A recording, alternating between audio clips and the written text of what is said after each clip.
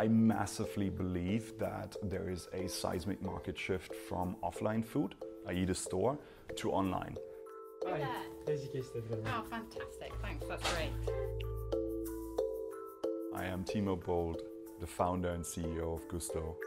You choose whatever you like to eat, and we deliver all the ingredients across all of the UK for you to cook amazing meals in the fastest possible time.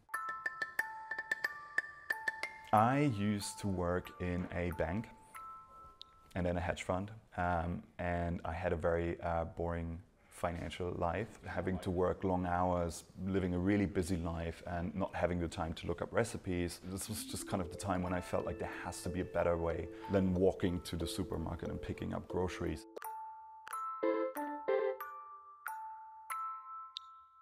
I'm desperately hoping for more companies to do what we do so that we all kind of educate the market so that we just have to focus on why we're better. Gousto was founded in 2012.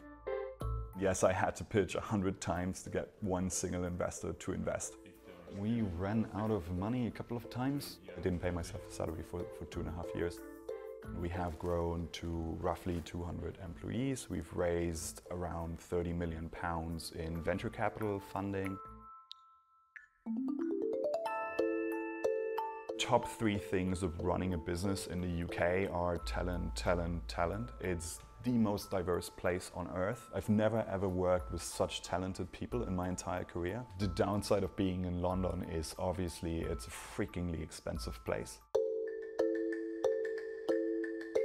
Data and tech run across all areas of the business, from optimizing the warehouse, uh, automation, to running our kind of menu forecasting, to predicting what people most likely want to eat tomorrow. And this is kind of what makes Gousto stand out. Order to build a business, you absolutely have to love what you do and you gotta be super passionate. It's a roller coaster of emotions, only experiencing terror and excitement. And to make it through that kind of time, you, you just have to believe in the idea and, and love what you do.